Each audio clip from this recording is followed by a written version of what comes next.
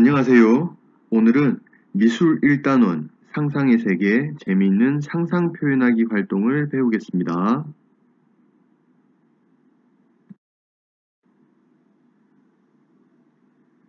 오늘 공부할 내용은 재미있는 상상의 세계를 표현하는 활동입니다.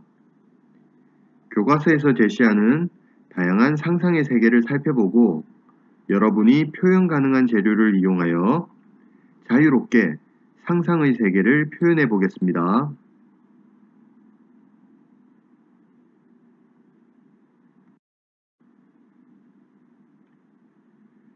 여러분은 걸리버 여행기 동화를 읽거나 만화 혹은 영화로 본 경험이 있나요?